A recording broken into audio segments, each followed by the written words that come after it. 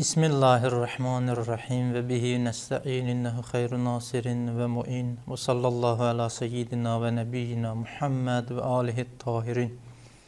Salamun aleykum və rəhmətullah. Keçən dərsimizdə rububiyyətdə olan tövhid barəsində e, qısa da olsa məlumat verildi. İnşallah e, bu mövzu haqqında bugünkü dərsimizdə ətraflı bəhs edəcəyik. Keçən dərslərdə Allahın zat məqamında olan tövhid, sifət məqamında olan tövhid və həmçinin Allahın xaliqiyyətdə və yaxud da öz feillərində olan tövhid barəsində geniş danışıldı. Və tövhidin əsas məqamlarından da biri rububiyyətdə olan tövhiddir. Həqiqətdə rububiyyətdə olan tövhid Allahın feillərində və yaxud Allahın xilqətində olan tövhidə qayıdır. İnşallah izah verəcək və bu e, daha da bizlər üçün məlum olacaq. Xilqətdə və yaxud da Allahın feillərində olan yəni, tövhiddə məqsədi bu idi ki, Allah Mütəal öz feillərində hər hansı bir işi görmək istə istədikdə heç bir varlıqdan e, kömək almır və yaxud kömək almağa ehtiyacı yoxdur. Bəlkə Allah Mütəal e, müstəqil olaraq və zatən E, öz feillərində muxtardır, qadir muxtardır e, və Allahdan başqa bütün varlıqlar öz vücudunda Allah Müteala ehtiyaclı olduğu kimi öz işlərində də, öz feillərində də Allah Müteala ehtiyacı var. Allah Müteala'nın izni olmasa, Allah Müteala'nın onlara verdiyi qüdrət olmasa, dünyada heç bir varlıq e, necə deyirlər, heç bir təsiri qoya bilməz. Və bunun kənarında izah olundu ki, bu sözün mənası bu deyil ki, Allah mütəaldan başqa varlıqlar təsirə malik deyillər. Yox, Allah mütəaldan başqa varlıqlarda mümkünat aləmində, maddi aləmdə müəyyən təsirlərə malikdirlər, lakin bunlar öz təsir qoymalarında Allaha bağlıdırlar. Yəni bunlar Allahın izni ilə. Başqa sözlə Allah Mütəala öz feillərində müstəqildir, amma Allahdan başqa bütün varlıqlar öz feillərində, öz təsirlərində Allaha bağlıdırlar. Bu xaliqiyyətdə olan təvhidin mənası. Mən təvhid e, xaliqiyyətdə olan təvhidi onun üçün dedim ki, yəni bu bəhsin rububiyyətdə olan təvhidə də əlaqəsi vardır. E, rububiyyətdə olan təvhiddə məqsəd nədir? Əvvəl bunu izah edək. Baxın, Allah Müteal biz e, xaliqiyyətdə olan təvhid bəhsində deyir ki, müstəqil olaraq öz iradəsi ilə bu aləmi yaratmışdır. Və bunu hamı qəbul edir, müsəlman firqələrindən hamısı qəbul edir. Baxmayaraq ki, onun izahında, təfsirində müəyyən dərəcədə ixtilaflar var idi. Lakin bu dünyanı ki, Allah Müteal xəlq elədi, heyvanat aləmin, insanlar aləmin, təbii ki, bunların hal-hazırda idarə etməyə ehtiyacları var, ehtiyacı var. Yəni bu aləmin, maddi aləm, mənəvi aləm, heyvanlar aləmi, insanlar aləmi, təbiət aləmi, bunlar hamısı müxtəlif aləmlərdir. Bunların hamısını Allah Müteal yaradıb. Ya vasitə ilə, ya vasitəsiz. Amma bunların idarə etməyi, hal-hazırdakı heyvanat aləmi bir formada idarə olunur, vəhşilər, qeyri-vəhşilər, təbiət aləmi idarə olunur, yağış vaxtında yağır, buludlar gəlir. Bunlar hamısı gündəlik, necə deyərlər, e, bu aləmdə baş verən proseslərdir və bunların bir müdəbbirə və idarə edənə ehtiyacı vardır. Rububiyyətdə olan e, tövhiddən məqsəd budur ki, bu dünyanın idarə edən varlıqda müstəqil olaraq yalnız və yalnız Allahdır. Yəni bizim inancımız əsasən rububiyyətdə olan, olan təvhiddə məqsədi budur ki, bu aləmin müstəqil olaraq bir idarə edicisi vardır, o da Allah Mütaaldır. Allah Mütaalın kənarında Allahın izni ilə necə deyirlər, Allahın qüdrəti ilə bəzi varlıqlarda bu dünyanın idarə olunmasında, ondan sonra yağışın yağmasında, necə deyirlər, çiçəklərin göyərməsində müxtəlif təsirlərə malik olma qabiliyyəti vardır. Lakin bunlar hamısı Allahın izni ilədir və Allahın onlara verdiyi qüdrətləndir. Diqqət yetirsən, elə bu məna həqiqətdə e, xaliqiyyətdə olan tövhidə qayıdırdı. Lakin xaliqiyyətdə olan tövhidin mənası bu idi ki, Allah Müteal öz xilqətində, yəni e, öz xəlq etməsində, öz feillərində müstəqillidir, heç bir varlıqdan kömək almağa ehtiyacı yoxdur. Lakin e, rububiyyətdə olan təvhidin mənası budur ki, bu dünyanın hə, böyücündən tutmuş kiçik varlığına qədər bütün onların hamısının idarəçiliyi müstəqil olaraq Allahın əlindədir. Bu Allahın izni ilədir. Allah mütəal bunların hamısını idarə edir. Lakin Allah mütəal idarə edir. Bəzən buludların vasitəsilə yağış yağdırır, küləyin vasitəsilə buludları hərəkətə gətirir suyun vasitəsilə bitkiləri göyərdir. Bunlar hamısı necə deyirlər, müəyyən təsirə malik olsa da belə Allah Mütəal özü bu tədbiri öz öhdəsinə götürmüşdür. Bəs buna əsasən rububiyyət, əl-rububiyyət kəlməsini mən məna edim. Rububiyyət həqiqətən Rəbb kəlməsindən götürülüb. Rəbbin həqiqi mənası malik deməkdir. Sahib deməkdir. Rəbbüddar yəni ev sahibi, Rəbbul ibil yəni e, dəvə sahibi. Amma Rəbb mütləq gələrsə, müəyyən bir kəlməyə izafə olunmasa, ancaq və ancaq Allah Mütəal nəzərdə tutulur. Və bu aləmin yeganə maliki və sahibi Allah Mütəal olduğu üçün təbii ki, bu dünyanın da, bu aləmin də idarə edicisi yalnız və yalnız Allah Mütəalın özüdür. Əgər istəsək rububiyyətdə olan tövhidin dəlillərinə işarə edək, elə xaliqiyyətdə olan tövhidin dəlilləri də buna kifayət edər. Allah mütəal yeganə varlıqdır ki, qəniyyun bizzatdır. Yəni zatı baxımından ehtiyacsızdır heç bir varlığa ehtiyacı yoxdur və öz işlərində də heç kimdən kömək almağa ehtiyacı yoxdur. Həmin bu dəlil kifayət edər ki, rububiyyətdə olan təvhidi də biz qəbul edək. Bu bir, yəni rububiyyət xilqətdən ayrı deyil. Xaliqiyyətdə olan təvhid əgər isbat olunursa, bunun kənarında rububiyyətdə olan tədbir də isbat olunur. Amma bundan əlavə bu aləmdə olan e, nizamın Ondan sonra bu nəzm intizamın bir olması da bu aləmin idarə edicisinin də bir olmağına gətirib çıxardır. Biz keçən dərslərdə e, zatda olan təvhid barəsində bəhs edəndə bu ayə işarə etmişdik. Allah Müteal buyurur Ənbiya surəsi 22-ci ayə Ləv kana fihim alihatun illallah lafəsadata.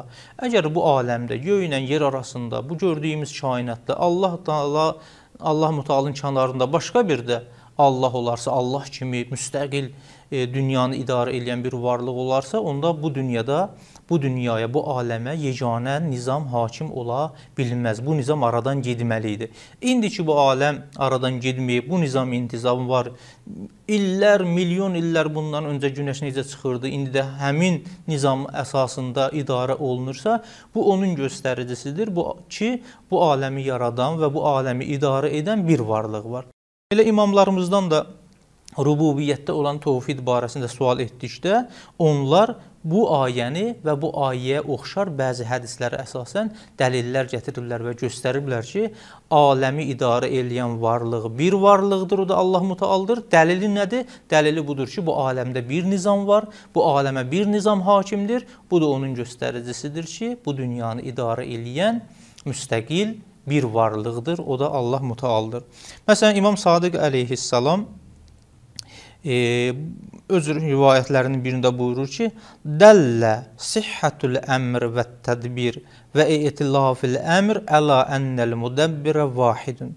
Bu dünyada tədbirin, əmrin səhih olmağı, yəni bu aləmdə gördüyümüz bir nizam və bu aləm müxtəlif cəhətlərdə mürəkkəb olmağına baxmayaraq hamısı ki bir nizam əsasında hərəkət edir və bir nizamı bizə necə deyirlər göstərir. Bu bunun göstəricisidir ki, əla ennel mudabbirə vahidun. Yəni bu aləmi idarə edən varlıq da birdir.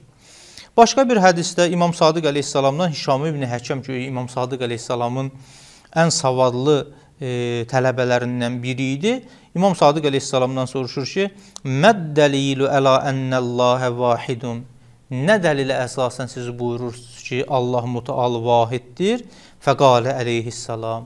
İmam Əli əleyhissalam burada ittisalut tədbir və tamamüs son bu xilqətin tam olmağı, bir parça olmağı və tədbirin, bu idarəçiliyin bir-birinə müttəsil birləşik olması göstərir ki, həqiqətən Allah mütəal vahiddir. Və diqqətini İmam Sadiq əleyhissalam bu tədbirin vahidliyindən Allahın vahidliyində isbat edir. Yəni bu nizam ki, aləmə hakimdir. Bu nizam ki, birdir və bir hədəf uğrunda necə deyirlər, hərəkət edir. Bu bunu çatdırır ki, Allah mütəal və bu dünyanı idarə edən varlıq vahiddir.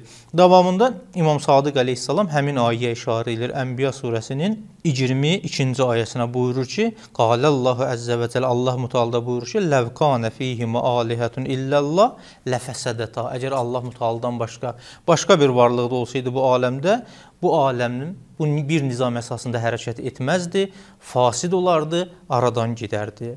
Pəs məlum olur ki, bu dünyanı idarə eləyən yalnız və yalnız müstəqil olaraq bir varlıq var, o da Allah mütəaldır. Pəs buna əsasən rububiyyətdə olan təvhiddən məqsəd budur ki, yeganə varlığı ki, müstəqil olaraq və zatan heç bir varlığa ehtiyac olmadan bu dünyanı idarə edir, o yalnız və yalnız Allah mütəaldır. Amma bu sözdən belə nəticə almayaq ki, pəs bu aləmdə maddi ya və mənəvi aləmdə Allah mütəaldan başqa heç bir varlıq təsirə malik deyil. Necə ki, bunu əşairələr deyirlər. Əşairə məzhəbinin inancı budur ki, yalnız və yalnız təsirə malik olan varlıq Allah mütəaldır. Allahdan başqa heç bir varlıq təsirə malik deyil. Elə bu səbəbdən də təbii səbəbləri onlar inkar edirlər. Amma biz yox. Yəni İmamiyyə məzhəbi təbii səbəbləri inkar etmirlər buyururlar ki, rububiyyətdə olan təvhidin mənası bu deyil ki, təbii səbəbləri biz inkar edək. Məgər biz inkar edə bilərik ki, külək səbəb olur ki, bulud hərəkətə gəlsin. Bulud səbəb olur ki, yağış yağsın. Su səbəb olur ki, necə deyirlər, bitkilər göyərsin. Bunlar inkar olunmazdır. Lakin rububiyyətdə olan təvhidin həqiqi mənası budur ki, bunlar təsirə malik olsalar da, öz təsirə malik olmağında Allaha möhtacdırlar. Başqa sözlə bunlar öz vücudlarında Allaha bağlı olduqları kimi öz feillərində də, öz təsirlərində də Allaha bağlıdırlar. Allah amba-an bunlara təsir etmək qüdrətini verir, onlar təsir qoyurlar. Elə bu baxımdan da biz Qurana müraciət edəndə görürük ki, Allah Mütəal buyurur ki, "Fəl müdəbbirati əmra" Allahın müxtəlif işlərini müəyyən mələklər idarə eləyir. Bəs müdəbbirat var, yəni bu aləmin e, maddi aləm, mənəvi aləm, bunları idarə eləyənlər var. Lakin bu idarə edənlər hamısı Allaha bağlıdır və bunun çoxlu nümunələri var. Və rububiyyətdə olan tövhidin geniş bir mənası var. Yəni yalnız insanın idarəçiliyində və yaxud da bu aləmin idarəçiliyində yəni, bu rububiyyətdə olan təvhidi biz qəbul etmirik. Bəlkə rububiyyət hər hansı bir şey ki, zehninə gəlir, onun və idarə etməyə ehtiyacı var. Bütün bunların hamısının idarəçiliyi Allah mütaldır. İstəyir o böyük bir şey olsun, kəşkəşanlar kimi, günəş kimi, qalaktikalar kimi, bunların hamısının idarəçi Allahın əlindədir. Və istəyir kiçik bir şey olsun. Qarışqanın necə idarə olunması. Qarışqa bir heyvandır, kiçik bir heyvandır və yaxud da hər hansı bitkinin göyərməyi bizim nəzərimizdə kiçik olsa da belə bunların hamısının tədbiri Allah əlindədir və Allaha nisbətdə filan şey böyükdür, filan şey kiçikdir mənası yoxdur. Allah müqabilində bütün mümkünat aləmi necə deyirlər, böyükdən kiçik bizim nəzərimizdə də Allahın müqabilində heç bir fərqi yoxdur. Burada dərsimizin sonunda Həzrəti İbrahim əleyhissalam ki, təvhidin qəhrəmanıdır. Quranda onun barəsində çoxlu ayələr vardı. Təvhidi, rububiyyətdə olan təvhidi özü belə məna edir. Diqqət yetirək. E, Şüəra surəsinin 77-ci ayəsindən 83-cü ayəsi. Buyurur ki: Fəinnəhum əduvvulli illə rəbbəl aləmin aləmlərin Rəbbidir ki, yalnız məni necə deyərlər idarə edir. Əlbəttə bu ayə əvvəllər başqa şey mənasındadır, başqa şey barəsindədir. Davamına diqqət yetirək. Əlləzi xalaqani fəhuvə yəhdin. O Allahdır, mənə məni xəlq edib və o məni hidayət edir. Vəlləzi huvə yut'imun və yəsqin. O Allah mütəaldır ki, mənə təam verir və məni necə deyirlər, su vasitəsilə siyrab edir.